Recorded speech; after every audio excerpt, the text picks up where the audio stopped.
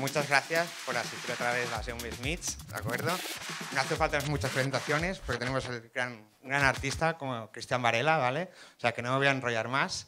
Ah, ahora nos hará una masterclass de un poco de técnica de los platos y luego podréis hacer preguntas, ¿vale? Si tenéis alguna duda, cualquier cosa, le podréis preguntar. O sea que, Cristian, adelante. Bueno, deciros que es un placer estar aquí con vosotros porque que sepáis que me gusta mucho dar clase y llevo un año sin poder eh, bueno, hacer de profe y tenía muchas ganas de estar aquí con vosotros. Y nada, como ya sabréis algunos, bueno, yo creo que todos, eh, me ha surgido una actuación de esta relámpago, me tengo que ir a Dubái luego en un avión de las nueve y media de la noche, así que todo el temario que tenía preparado lo voy a reducir a lo que considero que es lo más importante para vosotros y luego haremos una, ronda de preguntas. Vamos a ver sobre todo pues, eh, técnica con los tres, cuatro platos, ecualización, eh, los tipos de mezcla, cómo organizaros la música y si me da tiempo pues os daré un poquito el tema de psicología en cabina, efectos y bueno, algunas cositas más. Entonces, no me enrollo más y comenzamos. Lo primero que quiero que, veamos es la gente que se va a dedicar a DJ y sobre todo la esencia de un DJ no es ser el tío de moda, ligar mucho y, ser el más guay, ¿no? O sea, el que quiera dedicarse a DJ con esos parámetros, yo que yo no lo haría, la verdad. Me dedicaría más a ser futbolista o otro tipo de cosas. No, es cachondeo. A ver, eh, la esencia de un DJ sobre todo es querer eh, demostrar, no, eh, expresar los sentimientos y la música que más le gusta a uno, intentar expresársela al público y hacer, pues contar una historia de, lo que, de todo lo que uno ha seleccionado durante pues toda la semana, que ya sabéis que durante una semana llegan un montón de promos, compramos un montón de música, hay que seleccionar todas las carpetas. Entonces es expresar todo lo que nosotros sentimos con la música, es intentar hacer que lo vea el público. Eso es lo más importante. Entonces, eh, dicho esto, entramos en los estilos musicales. No importa eh, qué estilo os guste más, o lo, que importa realmente es que el estilo que os guste sea el que utilicéis para expresaros, porque hay muchas veces que muchos DJs utilizan estilos que no sienten, que simplemente los utilizan porque están de moda, porque se lleva más este sonido y demás. Fallo, fallo gordo porque si tú no sientes la propia música que quieres hacer sentir a la gente, mal vamos, ¿vale? Entonces, bueno, entrando en los estilos, yo os voy a explicar un poquito, bajo mis 25 años ya de experiencia, cómo me organizo yo la música. Por ejemplo, bueno, mis estilos, como sabéis muchos, son el house, tech house, techno, y bueno, según el, tipo de lugar, pues también hago sesiones de chill y demás, pero bueno, esto es más, más puntual. Eh, la colocación de las carpetas tiene mil maneras, pero si os puedo ayudar un poco en esto, yo personalmente me las eh, selecciono de menos caña a más caña, para que todos me entendáis. Eh, por ejemplo, carpeta de noviembre, carpeta de diciembre, estamos en febrero. De febrero, pues me las divido en house, techno house, techno, todos los estilos, ¿no? Y dentro de cada carpeta os ponéis los numeritos para que tengáis el orden que queráis, porque si no a lo mejor a veces os lo pone alfabéticamente y no encontráis el orden que queréis, o también podemos acceder al record box de los CDJ 2000, Nexus, ahora ya, y dentro de nada Nexus 2, eh, para que vosotros tengáis todo colocado. Hay mucha gente que se lo coloca por BPMs y tal. Yo creo que esto es trampa, ¿vale? Eh, es trampa eh, hasta cierto punto. Hay mucha gente que prefiere utilizar el sincro con los ordenadores o el cuantice en los CDJ pues, para ir más rápido y poder estar más pendiente de la creatividad que de la mezcla. ¿no? Es respetable, siempre y cuando realmente se utilice para esto, para que tú tengas más creatividad y te dé tiempo a hacer más cosas. Entonces, visto los estilos musicales, vamos a ponernos con la ecualización, que para mí es vital. O sea, es muy importante cuando llegas a un evento que todo suene bien, que suene bonito, redondo, elegante, con dinámica, porque muchas veces llegamos a una cabina y el DJ anterior, con todos mis respetos a todos los profesionales de esto, eh, tiene la mesa saturada, todo en rojo. Claro, los técnicos de sonido y los ingenieros lo primero que hacen es poner compresor limitador y satura la mesa todo lo que quieras, ¿no? Entonces, mal. Para eso es tan importante la ecualización. Eh, yo siempre lo que hago es hablar primero con el ingeniero, con el técnico y explicarle que yo no voy a pasar ni del menos uno, o sea que no me voy a mover de ahí en el máster de la mesa y que quite limitadores, compresores y todo, que no le voy a reventar los altavoces. Esto es vital.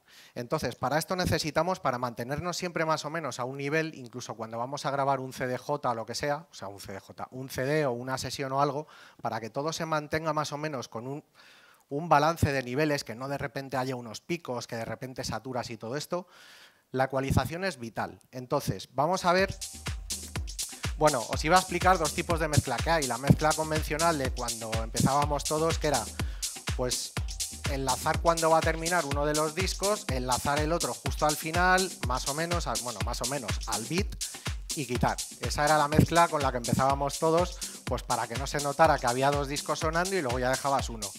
¿Qué pasa? Que con el tiempo los DJs se han transformado como en una especie de...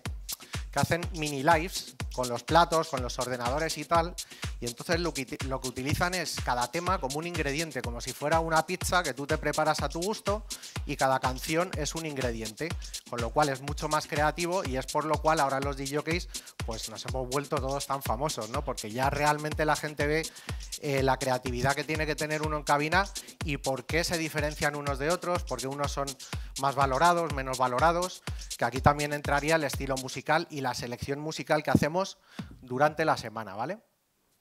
Entonces, dicho esto, vamos con la segunda opción de mezcla, que es la de creatividad. Para creatividad, lo que vamos a utilizar en una mezcla son varios elementos. Entonces, recomendaciones. La primera, todos los elementos que van cuando pinchamos con dos platos no hay problema, porque es simplemente ecualizando bien, haciendo una buena selección, hacer la mezcla. Está bien.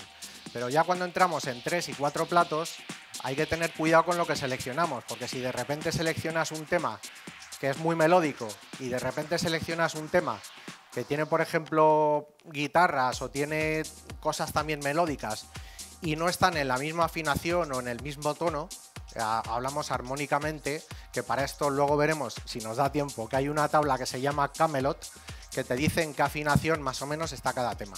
Bueno, al lío. Entonces, lo que no podemos hacer es mezclar melodía con melodía, eh, voz con voz, melodía con voz, si no están en el mismo tono, porque creamos una guerra armónica que queda fatal. Hay mucha gente que no lo nota, pero los que sí sabemos de, bueno, de armonía, de, música en general, vemos que hay DJs que cometen muchísimos errores, no solo de compás, sino de tonalidad. También veremos los compases rápidamente. En general la música electrónica se divide, o sea, está prácticamente toda hecha, excepto estilos como electro, da un tempo chill, step, cosas así.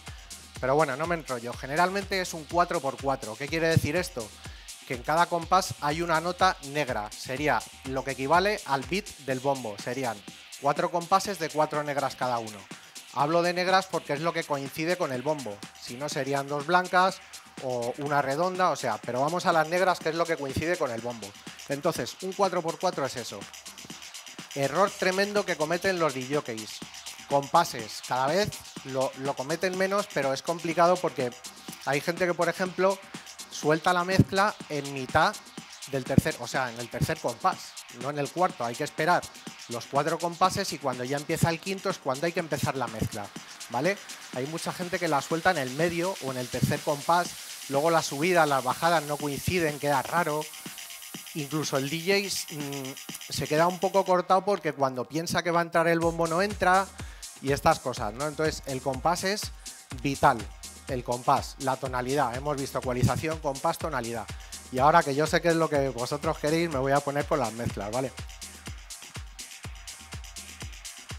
Entonces, hemos dicho que la ecualización es vital. Entonces, por ejemplo, cuando estamos mezclando con dos temas, generalmente, para lo que hablábamos de mantener un nivel y no saturar y que todo quede bonito, si me veis bien las manos, vale, si más o menos se ve. Bueno, voy a empezar a hacer una mezcla normalita con dos platos, en este caso con un Technics. También os quería explicar un poquito, para los que no lo conocéis, que ahora es como que se está volviendo a poner muy de moda, los platos Technics, cómo funciona un vinilo, cómo se regula el codo, la cápsula para que no salte, un poco las regulaciones. Lo vamos a ver muy básicamente para no enrollarme, pero lo vamos a ver luego. Entonces, empiezo con la primera mezcla. Lógicamente, aquí hay un tema sonando, con su bombo, sus agudos y tal, ¿no?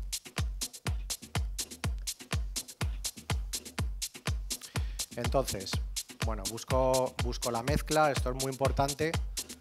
Los que no utilizáis Syncro, para el siguiente masterclass, que además queda pendiente porque me tengo que ir antes, entonces he prometido que va a haber otro masterclass donde vamos a ver mucho más de cerca el tema de regular la velocidad y demás.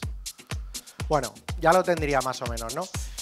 Vale, ¿qué ocurre? Hay mucha gente que cuando empieza a mezclar, que cuidado, ¿eh? es válido también, pero yo os voy a dar, desde mi punto de vista, lo que yo considero que es más correcto. Voy a darle un poquito de vidilla a esto. Vale. Vale, mucha gente que empieza a mezclar ya con el bombo del, tema que va a entrar, con el bombo ya puesto, o sea, el grave a la mitad. Vale. Bueno, voy a poner la mesa en mono porque por alguna razón el plato está sonando en mono, está sonando por un canal. Esto es otro truquito, cuando llegáis a un festival, de repente la, mesa suena por un lado, el técnico no está, tenéis un marrón, mesa en mono y ya suena por los dos. Asunto solucionado, ¿vale? Entonces, estoy mezclando, vale, vemos que en uno, en el plato tengo los graves puestos y en el CD yo entro con la mezcla con el grave. Entonces, si os fijáis aquí en la señal, si yo estaba aquí, ahora estoy sin bombo, pero bueno, la señal estaría más o menos por el cero. Cuando entramos con el otro bombo, veis que se dispara y se nota como un poco de barullo en los graves. Entonces, yo lo que, lo que creo que habría que hacer, o yo por lo menos hago, es si os gusta entrar con el grave del, nuevo tema, vamos a ir subiendo despacito y lo que hacemos es cambiar, fijaros, ¿eh? De un tema al otro, así. ¿Vale? Veis que ahora está más protagonista el CD. He bajado un poquito el plato, se mantienen los dos graves puestos, pero estamos ahí manteniendo la señal. Porque si los tengo los dos arriba, ya está, si, estuviéramos aquí arriba ya estaríamos saturando, ¿vale? Entonces, una manera sería esta y vamos jugando con esto. ¿Ves? Ahora el bombo queda más pendiente, o sea, más, más presente el del CD. Y aquí el del plato. Pues bien, esto sería una opción. La otra opción es directamente entrar sin grave. Entramos sin el grave y cuando vamos contando los compases, en los cursos de iniciación yo doy mucho el coñazo, perdonad por la palabra, pero doy mucho el coñazo para que los alumnos cuenten los compases, porque al final es como cuando vamos a la autoescuela. Al principio es un poco rollo, no te enteras que si el embrague, la primera, las luces, el intermitente, toda la vez es una locura, ¿no? Contar los compases es un rollo al principio, pero luego el cerebro se va habituando y al final lo haces automático. Cuentas sin querer y sueltas siempre a compás. Entonces vemos que hemos entrado sin el grave, Suponemos que ahora entra el grave de aquí del vinilo para que veáis el efecto.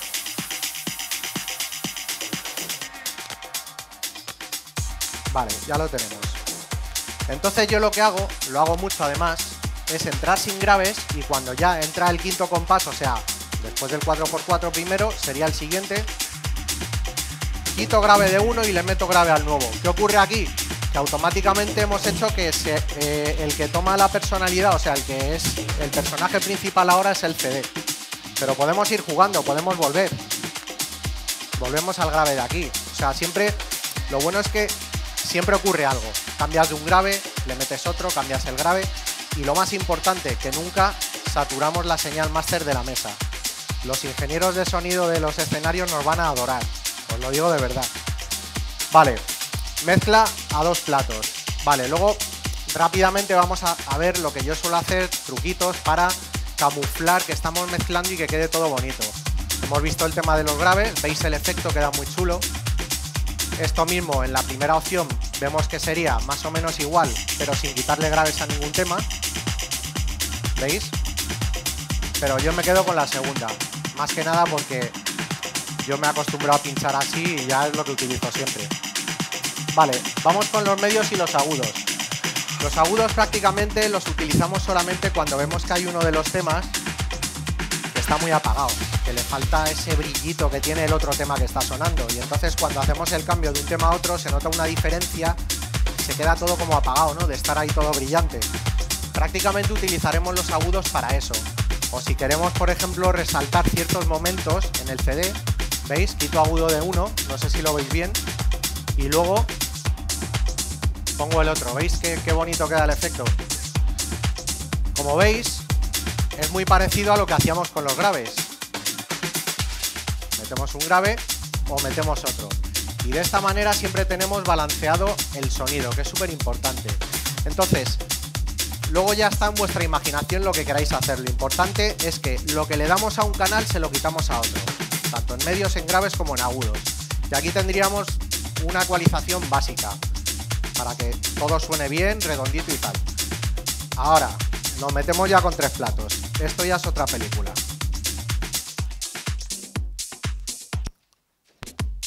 La base de la ecualización va a ser la misma, lo que pasa que aquí tenemos que tener mucho cuidado porque cuando hay tres temas sonando, o incluso cuatro, y queremos mantener la mezcla y el sonido con un nivel, hay que currárselo mucho.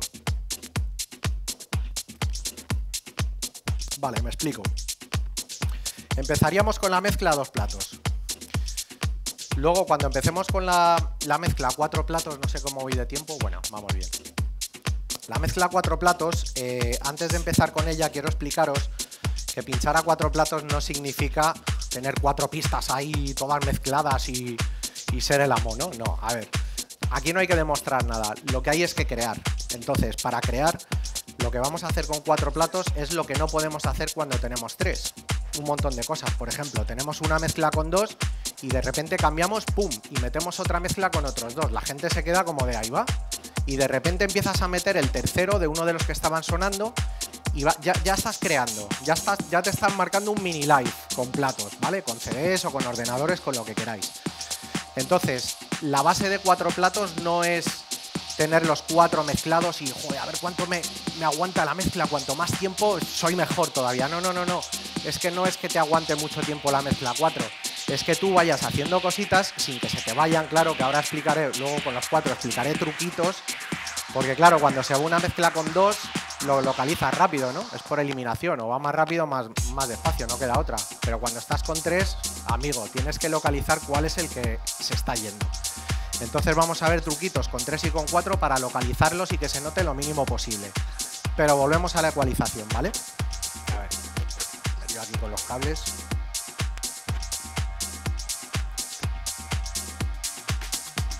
Vale, ahora estaríamos con 2.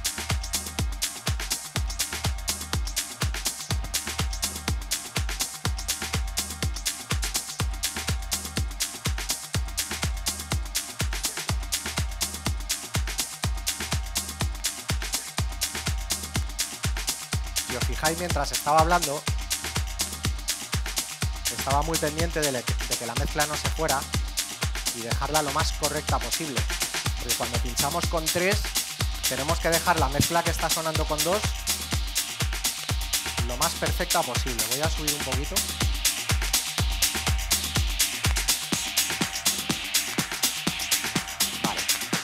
Tenemos que estar muy seguros de que los dos que tenemos fuera van clavados o que se van cada mucho tiempo. Porque de esa manera nos va a ser más fácil cuando estamos con 3 localizar qué es lo que está pasando. Vale, Ahora empezaría a meter el tercero. Bien, si veis, tengo solamente un grave puesto y los otros dos quitados. Esto es, o sea, sagrado. Os digo por qué, porque si por casualidad os entra de repente un bombo que no os esperáis y el otro bombo ya está a la mitad, saturáis mesa. Lo bonito de esto que es que ya tenemos los tres, entonces ya podemos ir jugando siempre con un grave. Nos vamos moviendo. Ahora metemos el otro. Vamos otra vez a este. Vale, está yendo un pelín. Y volvemos. Vale, truco para localizar cuál se está yendo. Mejor imposible ahora. Vamos a chequear, a chequear en el QE, en el PFL. Colocamos un poquito y luego colocamos un poquito. ¿Veis? Que otra vez la he recuperado. Los platos no son perfectos.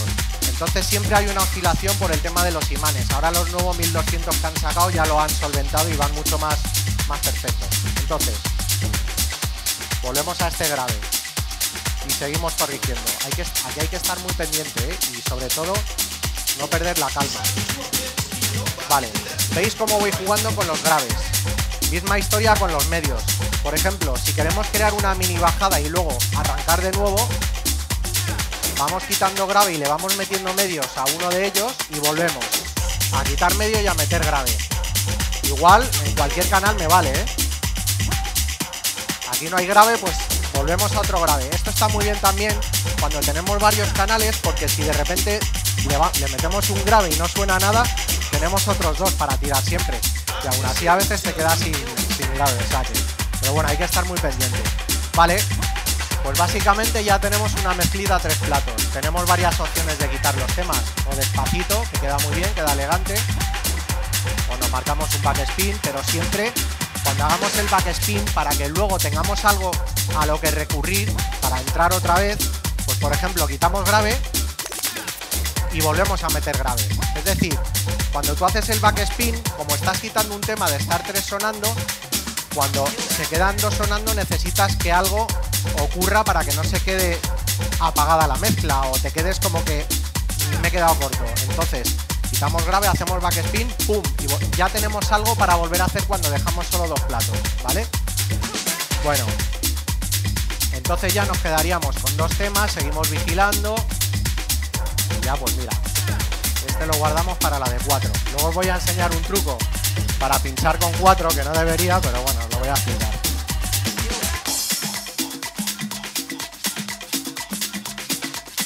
Por ejemplo aquí con dos no tenemos bombo, pues venga, recurrimos a este.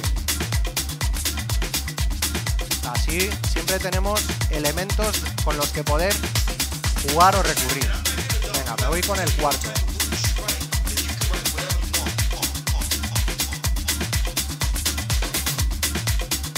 A ver, tampoco es necesario dejar dos sonando todo el rato o tres sonando todo el rato. Esto lo hago ahora para demostraros un poco cómo, cómo hay que hacer para pinchar con tres o con cuatro. Eh, no es bueno dejar la mezcla mucho tiempo, porque al final no dejas a la gente escuchar ni un tema ni el otro, ¿vale? Entonces, a ver que se me está yendo esto. Ah, vale, se va a quedar plato. Vale. No es bueno mantener mucho las mezclas, porque no dejamos escuchar la música.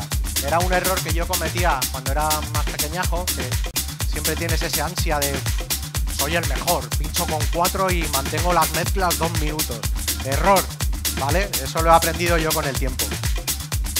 Hay que dejar respirar la música. Vamos quitando uno y ya dejamos un tema.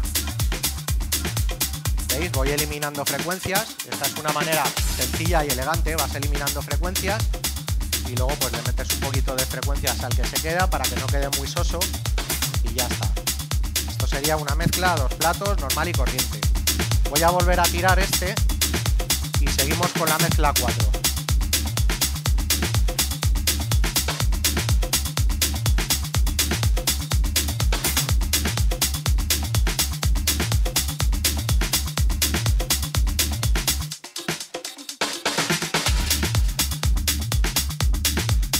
Veréis he seleccionado música un poco más tranquilita, que si no salimos de aquí todos descerebrados.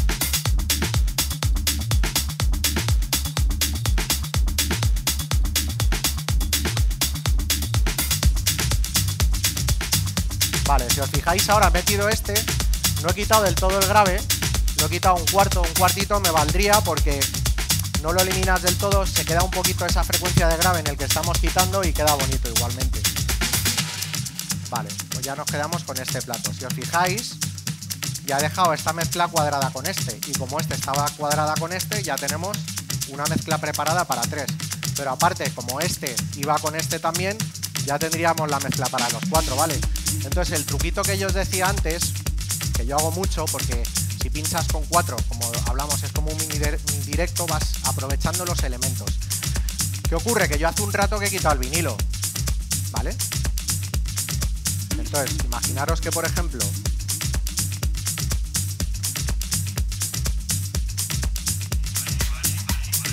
imaginaros que estamos con dos, ¿no? Y ya hace un ratito que he quitado el vinilo.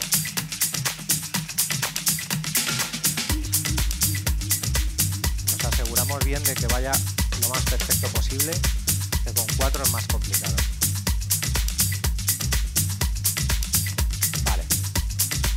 Bueno, están sonando dos. Hace un rato que no teníamos el vinilo, nadie sabe que esté ya, o sea que nadie sabe nada, ¿no? Pero lo voy a volver a meter sin graves.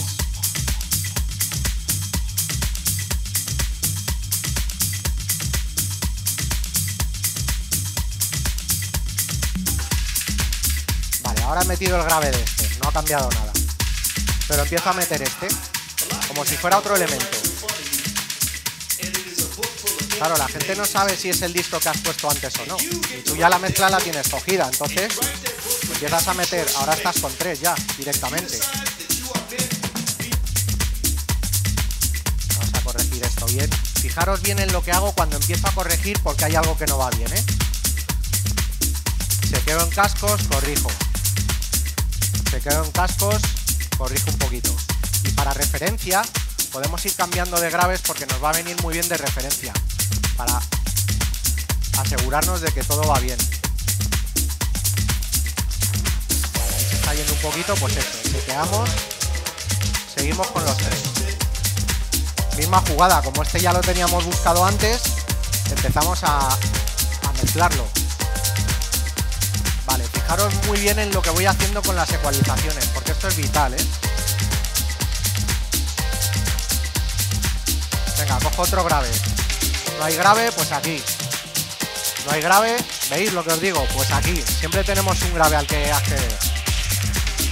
Vale, ahora estamos con tres. Y este ya lo tenemos preparado de antes. Entonces, ¿qué hacemos? Pues vamos modificando un tema por otro. Por ejemplo, vamos quitando el vinilo, que lo hemos usado solo como elemento. Y vamos metiendo este.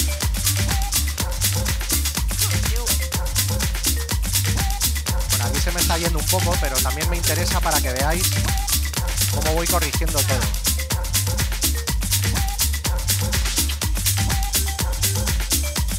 ¿Veis? Que voy probando primero uno, luego voy probando otro. Vale. Y ya hemos quitado el cuarto. Vamos quitando uno de aquí. Y nos volvemos a quedar con dos. ¿Qué ocurre ahora? He quitado el vinilo y he quitado este. Con lo cual los podemos dejar preparados. Este ya no porque ya lo hemos utilizado dos veces como elemento. Aquí vigilamos bien la mezcla, nos quedamos otra vez con dos. Podemos hacer lo que queramos aquí. Vale, y este me lo dejo guardado. Porque este lo hemos usado solo una vez. Y además con su grave y todo. Luego la segunda lo vamos a utilizar solo como elemento. Cogeríamos otro tema de aquí.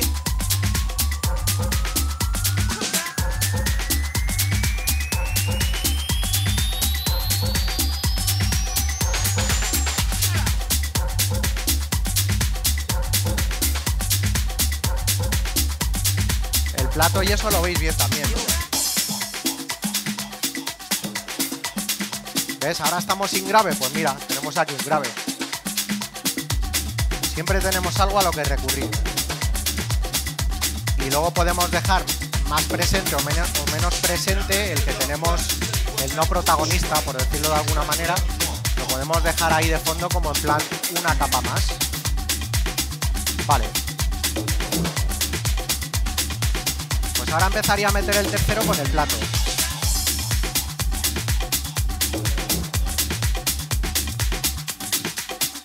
Aquí vigilamos bien que no se vaya.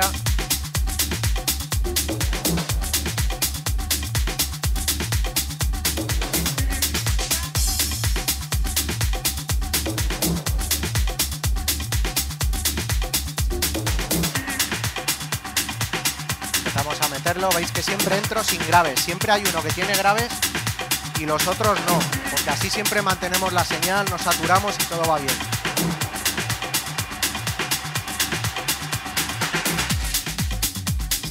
Vale, veis que he cambiado el grave del central por el grave del vinilo. Y vigilamos la mezclita 3, que no se vaya nada.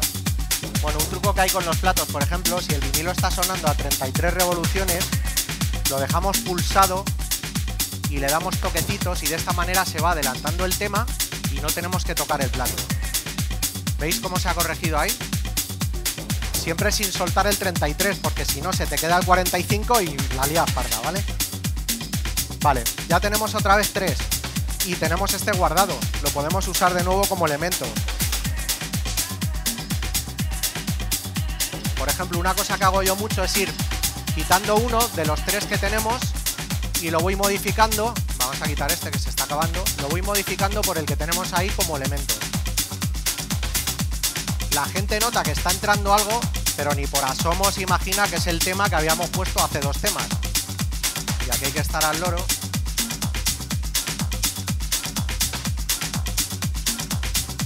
Seguimos corrigiendo. No tenemos grave. Volvemos a este. Ahora esperamos a la bajadita y cuando arranque ya le metemos el grave a este.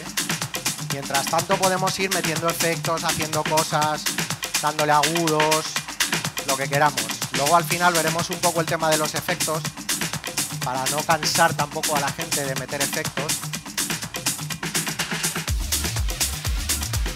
Venga, vamos a hacer el cambio de graves. ¿Veis? Que queda súper chulo. Ya tenemos otra vez tres. Mientras tanto podemos ir buscando aquí otro o simplemente dejar este, que no lo hemos usado por segunda vez como elemento. Nos lo dejamos guardadito aquí y ya buscaríamos otro tema. Tener en cuenta que mientras hay tres temas sonando, ponerte a buscar la mezcla de otro es una locura, hay que estar muy acostumbrado. Bueno, aquí por ejemplo vamos a ver una de las ecualizaciones que hemos visto antes, que es pues ir dándole medios, que vamos dando medios y luego lo eliminamos totalmente. Ya este casi ni se oye, entonces podemos ir bajando despacito y ya se quedan estos dos. Vamos a corregir un poquito aquí.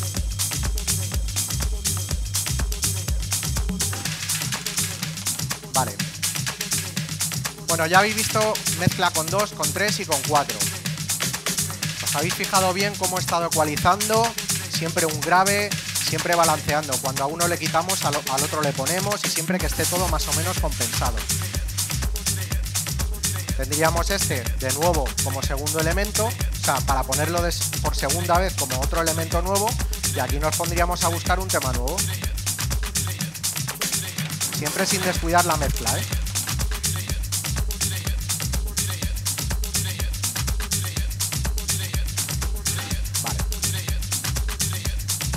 Yo sigo pinchando, ¿eh? vosotros fijaros sobre todo en las ecualizaciones y cómo voy corrigiendo. Hay otro truco para los que se inician con los cuatro platos. Es más fiable, ¿vale? Porque esto es un poco... hay que estar muy acostumbrado. Entonces, por ejemplo, vamos a ver. Habéis visto que yo mientras voy corrigiendo voy chequeando en los QEs. Pero eso es porque yo sé ya cuál está fallando. Y si me equivoco, enseguida rectifico. Es como un acto reflejo. Esto con la experiencia veréis que ya sale solo, pero al principio es muy complicado. Entonces tú frenas un poquito, si ves que todo se, de, desacompasa un poquito, enseguida, pa, acto reflejo, le das otra vez. Y si no es este, pruebas con el otro. Y si no, con el otro. Pero como me muevo en milímetros, la gente no lo nota, pero yo sí estoy notando que estoy corrigiendo. Vale, para los que se inician en los tres y en los cuatro platos, hay trucos. Por ejemplo, empiezo con este, por ejemplo. Empiezo a mezclar. Veis que en este estoy sin graves, en este también. Hay una manera muy sencilla. Si se empieza a ir algo, que notáis que algo se está empezando a ir, bajamos un poquito ese. Corregimos este. Si todo va bien es que era este el que se iba. Volvemos a subir este todo va bien. Pero ¿y si no era este? Vamos a hacer la prueba. Vamos a moverlo. Bajo ese un poco, vemos que se va. No era. Entonces, volvemos a corregir y subimos este. ¿Veis que voy bajando un poquito cada canal? De esta manera tú vas chequeando por fuera como referencia si todo va bien o no. Ahora subo, veis que se está yendo uno un poquito. Es este, pero vamos a pensar que yo no lo sé y empiezo a corregir este. Veis que se está yendo la cosa, ¿no? Vale, pues enseguida hay que bajar el que se está yendo, ver si estos dos van bien, que en principio sí, sí, bueno. Corregimos este mientras lo tenemos ahí un poco bajado y volvemos a subir. Veis que otra vez lo tengo todo encajado. Entonces la manera es esta, bajar, corregir, que no es, bajamos un poquito más, lo volvemos a colocar y entonces es el otro, ¿no? O sea, esto es por eliminación, siempre es por eliminación. Al principio tardamos mucho en localizarlos, pero con el tiempo ya enseguida lo localizas. Vale, vamos a ver un poco los efectos. Nos quedan ahí 20... No, nos queda todavía... Vale. Pues Entonces me voy a hacer un par de mezclitas más para que veáis lo de los cuatro, cómo voy tocando y tal. Vale, nos habíamos quedado en que este, por ejemplo, lo vamos a volver a utilizar de elemento. Y aquí estamos buscando un tema nuevo. Entonces dejamos dos o dejamos uno solo, por ejemplo. Dejamos este y ya vamos eliminando el vinilo. ¿Cómo? Dando medios y quitando. O luego veremos que con los efectos podemos compensar esas bajadas, por ejemplo, con una reverb. ¿Veis? Relleno ese hueco con la reverb y cuando bajo siempre tengo el bombo para recurrir y que se llene todo otra vez después de la bajada. Eso lo vamos a ver ahora con los efectos. Entonces vuelvo a soltar el plato. Ahora estoy repitiendo mucho los temas porque me estoy centrando en que veáis la técnica.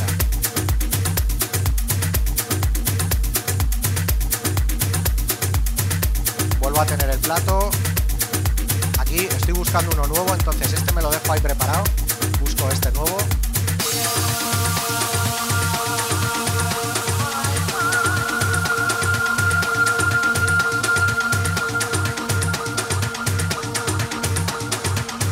A pinchar con tres no os desesperéis, o sea, no es fácil, ¿vale? Al principio os vais a desalentar un poco, pero es, que esto es como todo, es practicar, practicar, practicar y practicar, hasta que ya te empiece a salir, o sea, que no sale de buenas a primeras. Vale, ahí tenemos estos dos. Sigo buscando este y este lo tengo ahí preparado.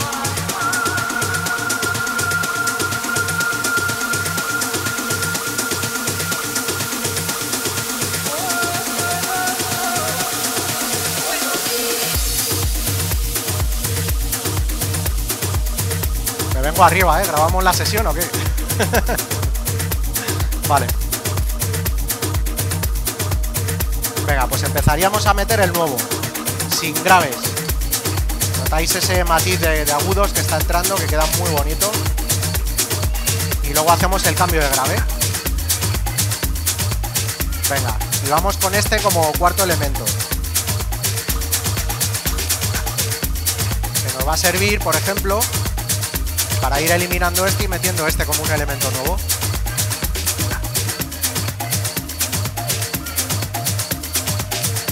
Aquí que hay bajadita podemos ir metiendo un poquito de reverb.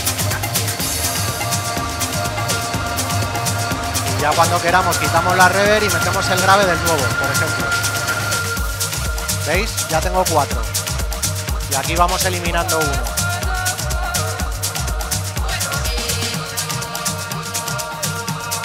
Ahora, por ejemplo, vamos a eliminar otro y nos quedamos solamente con dos.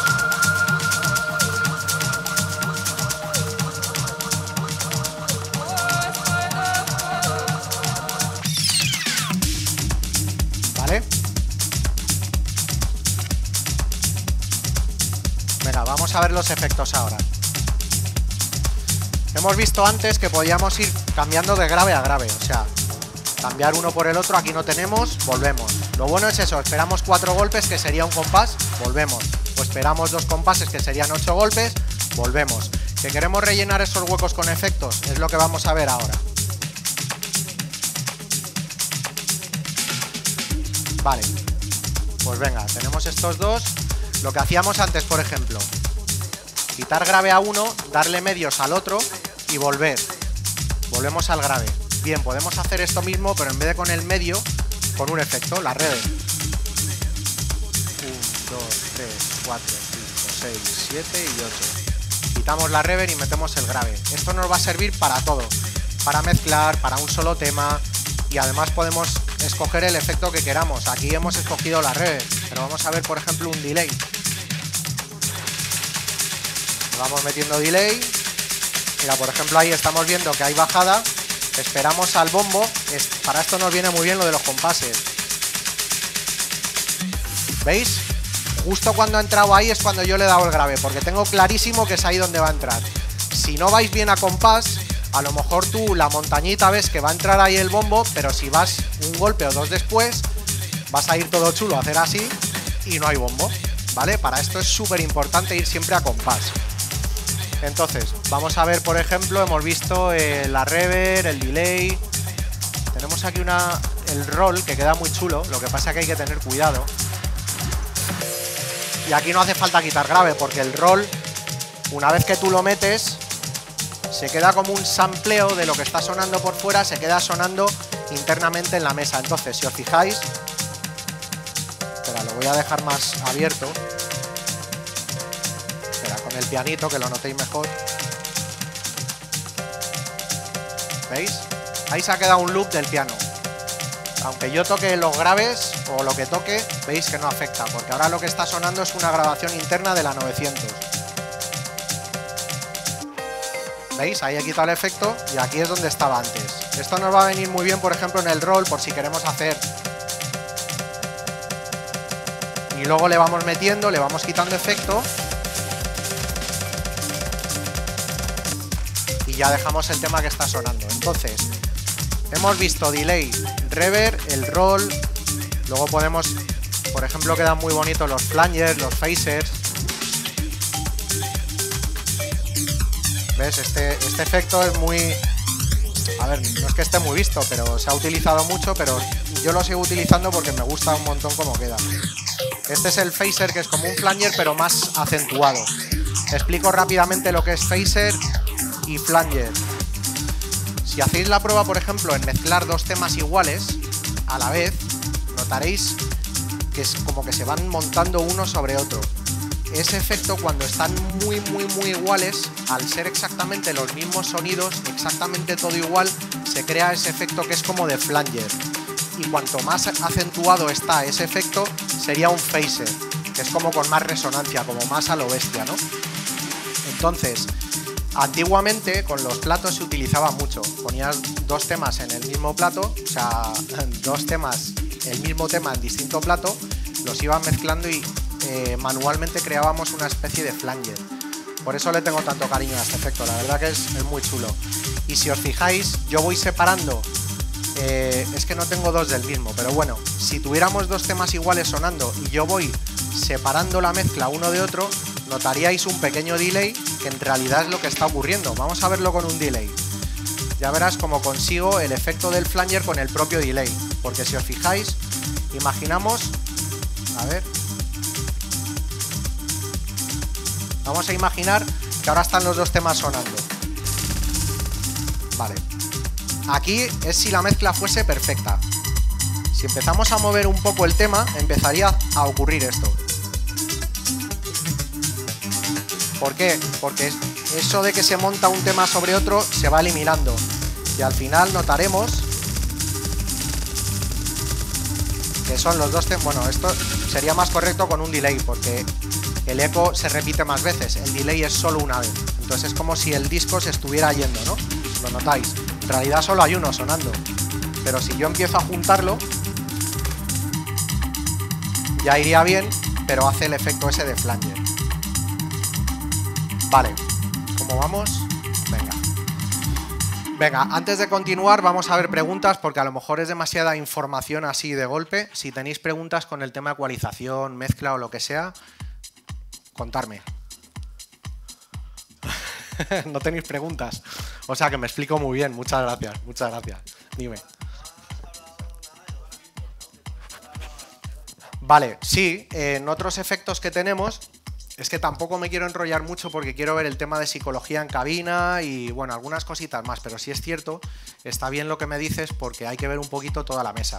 Hemos visto los efectos de este lado, en este lado tenemos otro tipo de efectos que serían, como bien has dicho, por ejemplo, el filtro. Ah, que tengo aquí, a ver. Vale.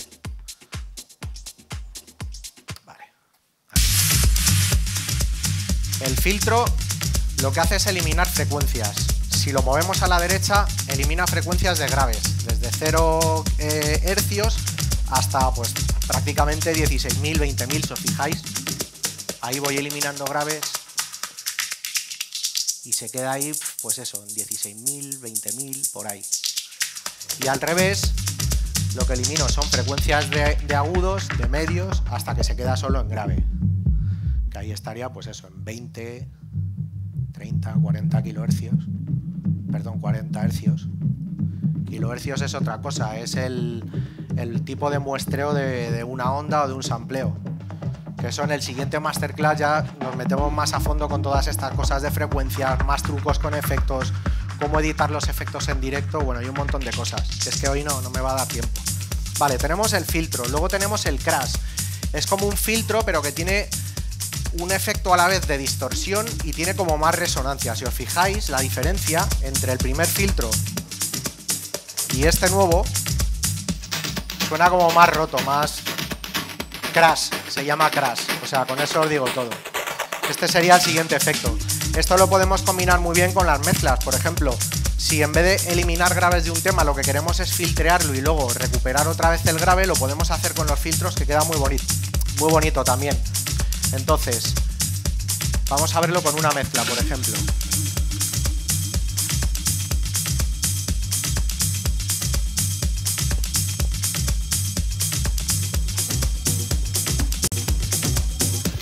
Voy quitando y vuelvo.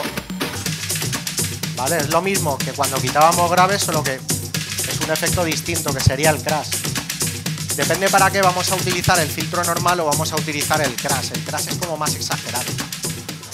Yo, por ejemplo, el crash lo utilizo más cuando estoy con tres o cuatro platos porque es como que se nota todo más bestia y luego tienes con lo que recurrir con los otros platos. Si lo quieres hacer más leve, lo hacemos con el filtro. Luego tenemos el noise, que mola mucho para crear bajadas, subidas, después de, o sea, después de la bajada creas como una especie de subidón que queda muy chulo. Por ejemplo, imaginaros, aquí no hay bajada y me la quiero fabricar yo así.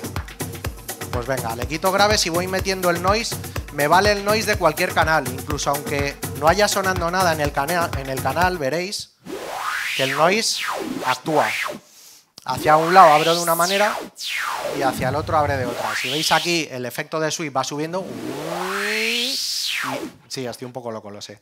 Y hacia el otro lado va bajando, ¿vale? Entonces podemos hacer aquí el... Vale, ¿cómo quedaría esto mientras estamos con un tema? Hemos visto, no hay bajada, queremos crear una bajada. Pues la, nos la vamos a fabricar, por ejemplo, quitando grave y metiendo un poquito de noise. Y cuando queramos quitamos el noise y volvemos a meter el bombo. Ahí nos hemos creado una bajada. Esto me vale en plena mezcla, no os arriesguéis demasiado tampoco. Eh, en bajadas, si queréis, por ejemplo, en la bajada adornarla con el filtro, con el noise, que hay bajadas que están como muy secas, no tienen casi efecto, simplemente acaba el bombo, sigue la melodía o lo que sea y vuelve a arrancar el bombo, no hay, pues eso lo vamos a rellenar con el noise, ¿vale? Luego tenemos el space, el space mola mucho, lo abren de 12 a 6 de la mañana, no. Eh, el space actuaría, bueno, es una especie de medio filtro, medio delay, tiene muchas cosas. Veis que tiene como un delay, además si yo se queda como flotando. Esto lo utilizamos mucho también y queda muy chulo. Cuanto más o sea, cuanto más le das a la, a la rueda, más acentúa. Y hacia abajo funcionarían las frecuencias de graves. Si os fijáis, de la mitad para abajo graves, de la mitad para arriba agudos. Y esto quedaría muy bien, por ejemplo, estamos mezclando. Voy haciendo ejemplos rápidos, ¿vale? Para que lo, lo vayáis viendo.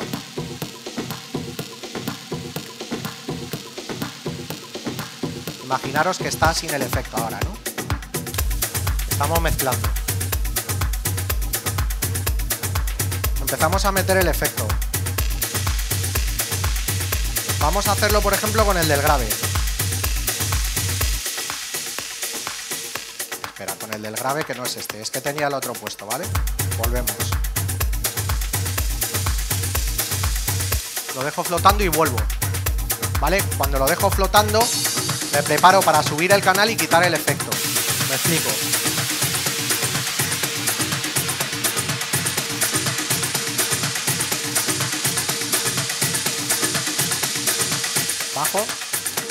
Y subo. Mientras bajo aprovecho para quitar el efecto. ¿Por qué? Porque si subo con el efecto no va a seguir todo ahí sonando, ¿vale? Entonces, otra vez.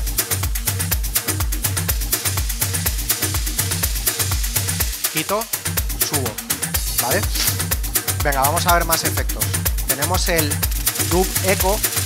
El Dub Echo es parecido al Space, solo que sería como con más repeticiones. No, perdón, con menos, es al revés. Es igual que hemos visto que el eco y el delay. En el eco tenemos un retraso del tema que está sonando, pero se repite muchas veces. Es como en la montaña, eco, eco, eco, eco, eco, eco, ¿vale? Y el delay es solo un, un eco, solo uno, o sea, palmada, palmada. Sin embargo, en el otro son palmada, palmada, palmada, palmada. Aquí ocurre lo mismo en el dub eco y en el space. En uno, el delay que notamos por ahí es eh, delay y en el otro es eco. Esa es la diferencia que hay entre el space y el dub eco. Bueno, más o menos, ¿vale? Podríamos extendernos más. Y luego tenemos el gate compressor, que este, bueno, es una puerta de ruido. La puerta de ruido lo que, lo que hace es que según tú vas modificando, eh, vas editando el efecto, haces que la puerta corte el sonido y lo vuelva a abrir. Es una puerta que deja entrar y salir el sonido.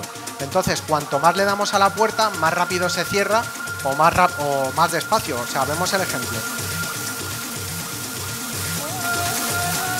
¿Qué ocurre? Que aquí, en este, a ver, yo por ejemplo, como buen beta tester de Pioneer que soy, hay muchos fallos que cuando salió la 900, la primera, no la Nexus, eh, hay muchos efectos que mm, no sirven de mucho, porque si os fijáis, el gate compresor este está haciendo prácticamente lo mismo que el Echo Dub o el Space y tampoco está actuando como puerta de ruido. Vamos a hacer, por ejemplo, a ver si tenemos aquí... hacerlo, mira, con el trans, por ejemplo, sí vamos a hacer una, una puerta de ruido real. Y además este efecto no lo hemos visto antes en esta zona. ¿Veis? Que se va abriendo y cerrando. Si yo lo voy modificando, se abre y se cierra más rápido. Este es el trans, el que está aquí que se llama trans. Que en un principio el trans se iba a utilizar como pitch, como el... Pero luego, no sé por qué razón, se siguió llamando trans y en realidad es una puerta de ruido. O sea, fallos de estos que a veces, como en todas las grandes casas, ocurren. Y según vamos abriendo, tarda más en abrir y en cerrar, ¿veis? Esto se utiliza mucho, por ejemplo, me queda muy chulo, y luego voy a enseñar otra cosa, si me da tiempo, es para marcarte un scratch como Grandmaster Flash a lo bestia, pero en plan con truquitos. Vale. Bueno, hemos visto que el Gate Compressor hace prácticamente lo mismo que el Space y el Echo Dub, pero vamos, que tampoco no lo utilizamos mucho, la verdad. Entonces,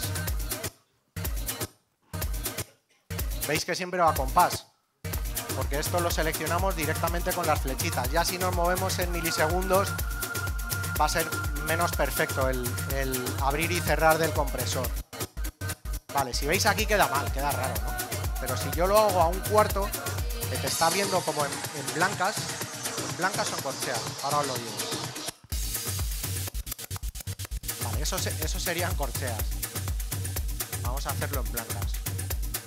No, perdón, Ahora en corcheas, antes eran semicorcheas, que es ta ta ta ta ta ta ta ta ta ta ta ta ta. Corchea sería ta ta ta ta ta ta, los tiempos de cada bombo.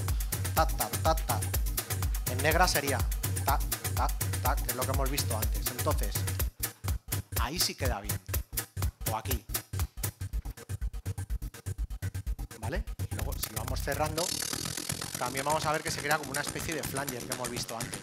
Pero vamos, mi recomendación es utilizarlo o en medio o en un cuarto. Ahí queda guay. O en medio. Ahí queda guay también, ¿vale? El truquito que os decía antes, por ejemplo, si tenéis un... Algo que no tenga ritmos, que no tenga mucho jaleo. Por ejemplo, una melodía como esta. Vale, sí. Vale, imaginaros que está sonando esto le metemos el trans, bueno, aquí todos los efectos los estoy utilizando en el máster, es decir, en todos los canales en general de la mesa. También tenemos la elección de coger solo un canal, el efecto para solo un canal y que el resto estén, estén normal. Entonces, vamos a hacer el truquito.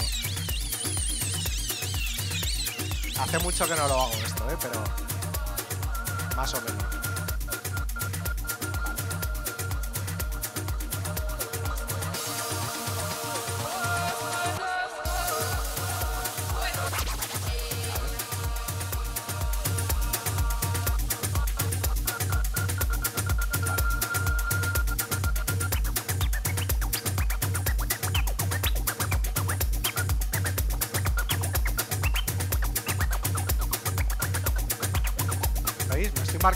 Pedazo de scratch y lo único que estoy haciendo es echar la rosca para adelante y para atrás. Estoy utilizando el compresor, la puerta de ruido, que es la que haría como los DJs que son expertos en scratch, que no es mi caso, ¿vale? Van moviendo el crossfader o los, o los estos, los potenciómetros. Aquí te lo hace automáticamente la mesa, entonces tú con mover la rosca te marcas un scratch espectacular, ¿vale? Vale, más cositas. Hemos visto efectos principales de la mesa, efectos del lateral. Lo bueno es que los efectos principales de la mesa actuarían sobre los del lateral. Por ejemplo, si metemos un filtro del lateral y a la vez le metemos un delay, un eco, perdón, estaría en el máster. Veis que mientras yo filtreo, el efecto sigue. O sea que está actuando el delay sobre el filtro. Y lo mismo con todos los demás. Vale. Bueno, a ver, una cosa súper importante, que me quedan como 10, 15 minutos. Eh, tema de psicología en cabina. A ver, yo soy muy pesado con esto. Porque no es lo mismo ver a un DJ. A ver, tampoco hace falta hacer el payaso, ¿vale? O sea, a ver si me entendéis. Eh,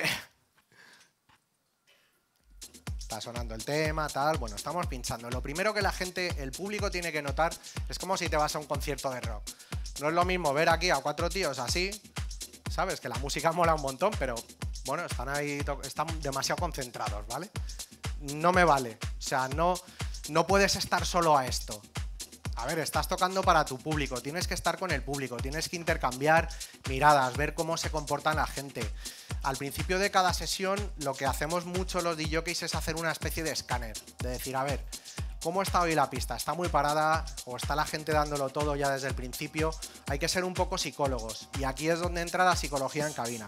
Primero, ¿qué es lo que estábamos viendo? La gente te tiene que ver con mucha seguridad, con mucha confianza, aunque estés acojonado, con, el perdón de la palabra. Y hay muchas veces y mogollón de DJs y muy conocidos que tienen lo que se denomina miedo escénico, ¿vale? Miedo escénico, ¿qué ocurre? Que el tío es muy bueno, es un fenómeno, pero el tío le cuesta, le cuesta abrirse con la gente mucho. Entonces, ¿qué pasa? Que se pone como una especie de barrera el tío hace su sesión y le da igual si a la gente le gusta más o le gusta menos, el tío hace su sesión y listo, ¿vale? Eh, luego ya cada uno que se haga sus conclusiones. Entonces, error, error, porque para eso pinchan el salón de tu casa. A ver, con esto soy un poco agresivo, pero es que es la realidad. O sea, no es lo mismo ver un grupo ahí que es que lo están dando todo, están sudando, revientan la guitarra. A ver, no hay que tirar la mesa tampoco al público ni nada, ni nada de esto raro que hemos visto alguna vez. Eh, pero sí eh, a ver, la gente te está viendo, mm, hay un toque de show, tampoco hay que, en mi opinión, no hay que pasarse, no hay que estar sobreactuado, pero sí que la gente te vea con mucha confianza y motivado y que te lo estás pasando igual, que, igual de bien que ellos, aunque estés trabajando, ¿vale? Esto por una parte. Y luego por otra, eh, súper importante, lo que estábamos diciendo antes de analizar la pista. O sea, cuidado porque a lo mejor te está saliendo la sesión de tu vida y no estás pendiente del público empiezas a desarrollar aquí tu historia y de repente miras a la pista y se ha vaciado media pista. ¿Y ahora qué hacemos? Pues nada, hay que recurrir al temazo que todo el mundo conoce, ponerlo y ya todos manos arriba y otra vez... Cuidado, no hay que despistarse ni un segundo. O sea, esto es vital. Hay que estar todo el rato con el público. Yo a veces incluso ya me paso, ¿no? Veo un grupito que se va a la barra a pedir copa. Mm, ya, ya me toca la fibra. No se pueden mover de la pista, ¿no? A ver, esto si lo oye el dueño del club me mata, porque si la gente no consume, no ganan dinero y luego no me pagan. No, pero sí, en serio. Em, hay que estar muy pendiente de la pista y analizar y ver. A ver, cada día, incluso en un mismo club, pinchas un fin de semana y está todo el mundo revolucionado y pinchas tres meses después en el mismo club y lo notas todo como, no sé, apagado, algo falla. ¿Qué pasa, no? Bueno, esto ya es cosa de energías, llamarme loco, lo que queráis, pero bueno, en estas cosas el tema energético influye muchísimo.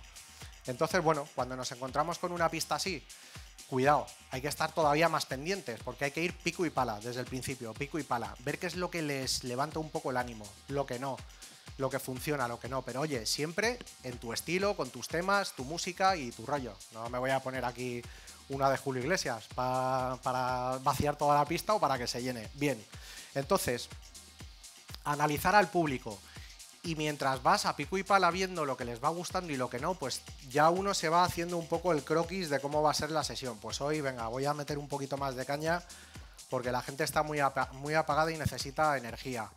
O lo contrario, llegas, está todo el mundo revolucionado y lo que hay que hacer es, no vas a quemar toda la goma del coche desde que arrancas. No, no, no. Bajamos un poquito los ánimos sin pasarse y luego ya vamos subiendo. Vamos subiendo y dos cosas importantísimas a nivel psicológico. Luego vais a saber todos mis trucos, ¿no? Vale. a ver, eh, lo más importante de una sesión o de un concierto o de un directo o de lo que sea es el principio y el final. La gente siempre se queda con el principio y con el final. Luego la mitad, bueno, se te puede ir un poco más la olla, experimentar más o estar con el público todo el tiempo, lo que quieras. Pero si el principio es apoteósico y el final es apoteósico, te ha salido, eres el mejor, ¿vale? ¿Qué pasa si empezamos muy bien y hasta la mitad estamos genial, pero el final, ¿qué se queda la gente con el final? Pues el otro día el Varela no, no acabó a mí de convencerme mal por el final. Hay veces que te pegas una sesión un poco mm, extraña, que ves que no está ocurriendo como tiene que ocurrir y te pegas la última media hora de tu vida y al día siguiente todo el mundo en los foros, joder, qué sesión se ha pegado el Varela, qué guay. Pero si haces lo contrario, no. Si empiezas muy guay y acabas medio rollo, ¿sabes? Pues la gente se queda con eso y, joder, vaya coñazo el Varela el otro día, ¿vale? Entonces, era muy importante para mí explicaros la psicología porque ahora os fijaréis más cuando veáis a alguien pinchando este rollo. Luego está el otro extremo, que luego ya es, pues eso, los circos que montan algunos, que yo soy anticirco total, ¿vale? Vale que estés bailando, moviéndote, de vez en cuando palmas, animas a la gente, bien, algo comedido, normal. Pero ya los que, y se vuelven locos y se suben a la mesa y, a ver, no hace falta, no es necesario. También depende en qué estilo de música. Por ejemplo, en el tecno, cuanto menos circo, mejor, ¿vale? Somos gente un poco más seria, no sé. Luego ya, bueno, pues ya si vamos a estilos un poco más comerciales, sin, nombrar ninguno en, en, específico, o sea, más comerciales, me vale trance, EDM, eh, lo que queráis, ¿vale?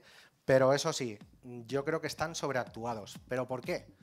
Porque la compañía que les ha contratado, o sea, normalmente los DJs de música más comercial eh, están trabajando en multinacionales, dígase pues Universal, Sony, etc.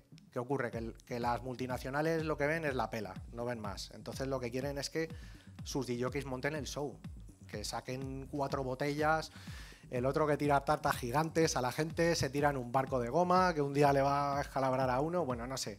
Pero es que es el tipo de show que vende ese tipo de DJs.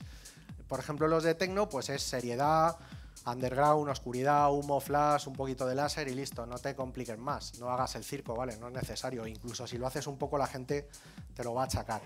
Entonces, visto esto, que era muy importante para mí el tema psicología, si me queréis hacer más preguntas, que nos quedan 10 minutos pelados, 5. pues 5, venga. Dejo la musiquita de fondo, así os animáis un poquito.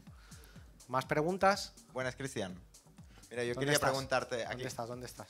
Ah, vale. Quería preguntarte sobre el Bar Live. Sé que hoy no hay tiempo, pero si en la próxima masterclass nos podrías hablar sobre los hardwares que utilizas de, bueno, de Roland y otros, y, que es, es muy interesante más que nada, más que nada porque hay más diversidad, más creatividad, como, como tú has explicado antes. Y...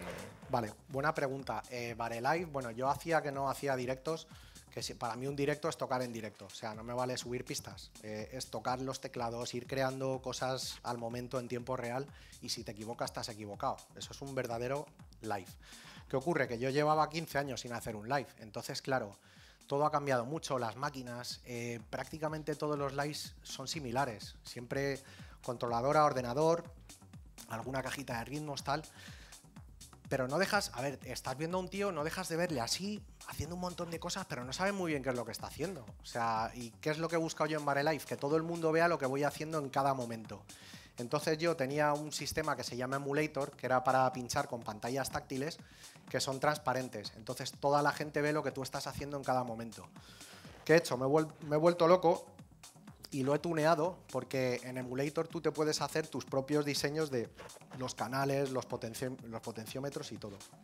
Yo me he tuneado el emulator de tal forma que puedo eh, utilizar cualquier programa vía MIDI, sea el Ableton, el Logic o lo que queráis, desde los canales de o los potenciómetros o los pads XY de efectos o lo que queráis del emulator. Entonces, tú te haces tú, que esto lo veremos, me traeré un, em, un emulator y os haré un mapping en plan rápido para que veáis cómo funciona porque mola un montón. Y bueno, en definitiva, todo el mundo ve todo lo que estás haciendo. Incluso si quieres escribir a la gente por las pantallas. Para mí es muy importante que la gente vea lo que estoy haciendo. O sea, yo muchas veces soy público. Yo soy el primero que me voy a ver un concierto de los Ramstein o de los Rolling o, de quien sea. Me gusta ver lo que está ocurriendo. Me gusta ver cómo toca el guitarra, el bajista, cómo se le va una nota, cómo de repente se equivoca uno y los otros le apoyan. Es, ese rollo del directo es lo bonito. Entonces es lo que yo busco en el live de Bare Live. Que la gente vea cómo manipulo absolutamente todos los aparatos. Y lo más importante es que yo dejo todas las pistas MIDI con cada sonido de cada tema que va a ir en el tema y yo con el push o directamente con el teclado y tal voy creando los loops y los voy dejando. Creo primero el bombo, luego el bajo, luego el tal, luego el charles y luego ya me pongo pues a hacer cosas, ¿no? Esa es la base de Bare Life, más o menos. Luego que aparte todo el tema audiovisual va totalmente sincronizado con un, un programita que tiene el Ableton que se llama Max for Live, que tú desde ahí puedes controlar absolutamente todo. Como si quieres controlar toda la iluminación de la sala desde tu ordenador con el Max for Live lo puedes hacer lo puedes programar y que todo vaya perfectamente sincronizado y que actúe cada vez que tú mueves cualquier cosa. Entonces esto también en Barelife es muy importante porque yo cada vez que meto un efecto o hago alguna cosa, la gente lo nota en las imágenes, que ocurren cosas también. Eso, bueno, es básicamente, pero luego me he vuelto loco para mapear emulator, para reprogramarlo para que sirva para, para Ableton o para Live en general, porque en principio son dos pistas para pinchar y ya está, no tiene más. Gracias. Nada. Bueno, pues nada, veo que estáis un poco tímidos hoy, ¿eh? Seguro que la próxima vez me vais a hacer más preguntas. Pues nada, que me voy pitando, que ha sido un placer estar este ratito con vosotros. Seguro que nos veremos la siguiente, que ya está confirmado, vamos, que vengo, ya que me tengo que ir un poquito antes. Y bueno, si queréis, aquí en la escuela dejar algunas cuestiones que queráis que toque en la próxima clase, pues por ejemplo, preferencias del tractor o del Serato, cómo funcionan según qué controladoras. No me, no me lo pongáis muy difícil tampoco, que yo las controladoras no las uso mucho, las conozco, pero preguntas que queráis que la próxima vez toquemos más a fondo. Y luego, pues si queréis, volvemos a ver tema de mezclas y demás, ¿vale? Gracias a todos por venir y nos vemos la próxima vez.